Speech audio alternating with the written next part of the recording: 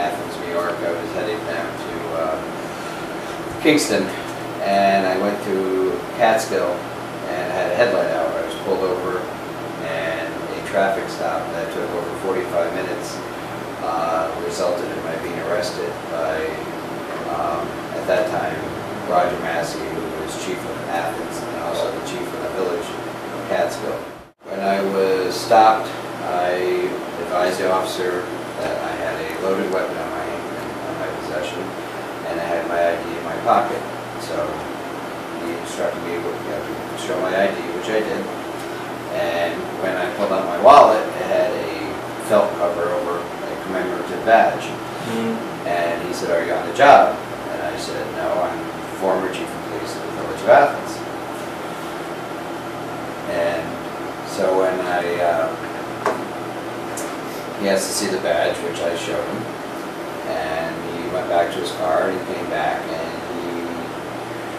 he asked if I knew Roger Massey. And I said, yes, I do. And I said, Roger has sort of a hard-on for me, and uh, I said, doesn't like the fact that I carry a badge. He told me, uh, Roger asked me to ask you if you surrender the badge.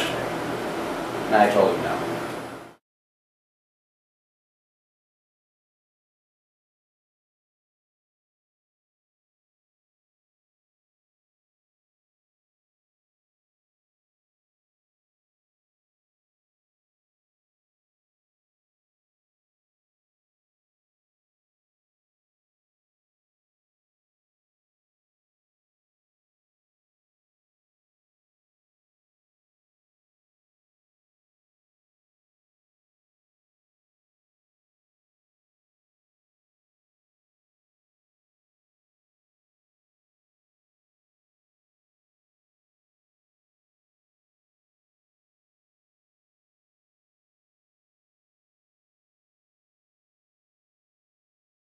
I surrendered my permit mm-hmm. as I was ordered, and I surrendered my weapon, my, my weapons as I was ordered. Mm-hmm. And I was called back, and they, they said I failed to adhere to the court order by failing to submit my duplicate pistol permit. They thought I had kept the duplicate, a non-existing duplicate, so I could carry a pistol.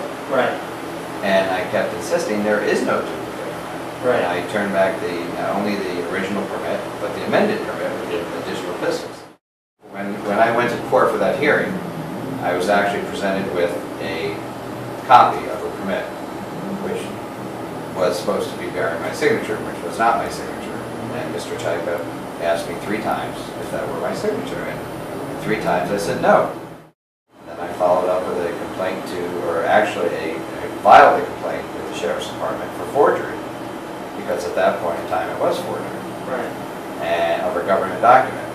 So I then received a letter, as indicated on July 18th, from Under Sheriff Dorsch, and who said that he investigated the, the matter and Ms. Bennett admitted to signing my name. And when you presented that to Judge Czajka, it was to no avail. To this day, I still sit without returning my permit or my weapons. And I actually called for the, uh, when I paid for the transcripts, and I got the transcripts back, the transcripts were lacking that entire section of the three denials that when Mr. Czajka asked me if that were my name on, on the amended permit, or on the duplicate permit, and I said no three times, that was not even in the transcripts. So the transcripts were falsified, and, and the, the fact that why I was brought there for a duplicate permit was never even brought up as far as why, why I, my permit was revoked.